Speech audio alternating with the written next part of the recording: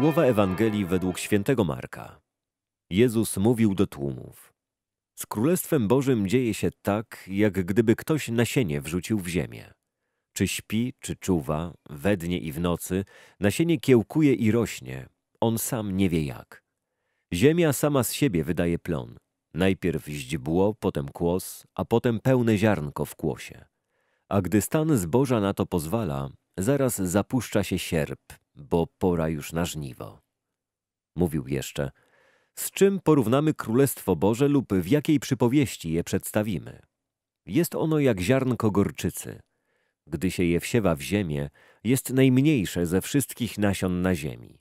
Lecz wsiane wyrasta i staje się większe od innych jarzyn. Wypuszcza wielkie gałęzie, tak że ptaki powietrzne gnieżdżą się w jego cieniu. W wielu takich przypowieściach głosił im naukę, o ile mogli ją zrozumieć, a bez przypowieści nie przemawiał do nich. Osobno zaś objaśniał wszystko swoim uczniom. Początki dzieł Bożych nie są nigdy spektakularne. Każdy cud, który działa Bóg, zaczyna się niepozornie. Wyjście Izraelitów z niewoli egipskiej zaczęło się od uratowania przed śmiercią chłopca imieniem Mojżesz. Cud w Kanie Galilejskiej zaczyna się od spostrzeżenia Maryi, że zaczyna brakować wina. Rozmnożenie chleba i nakarmienie pięciu tysięcy mężczyzn od zaledwie pięciu bochenków. W błędzie są ci, co sądzą, że aby osiągnąć jakieś zadowalające rezultaty w życiu duchowym lub społecznym, trzeba mieć jakieś ogromne zasoby. Wystarczy odrobina, ziarno gorczycy. To jest ulubiona droga działania Boga.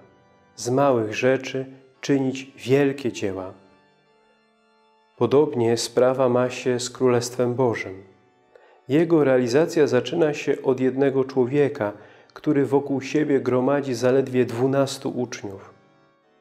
Dzieło tak mocno się rozrosło, że dziś chrześcijanie stanowią największą grupę wyznaniową, obejmującą ponad jedną trzecią całej populacji świata. A jak Królestwo Boże realizuje się w moim życiu? Czy pozwalam małym ziarnom Słowa Bożego codziennie wpadać w moje serce, aby moje życie przemieniało się wielkie drzewo życia duchowego?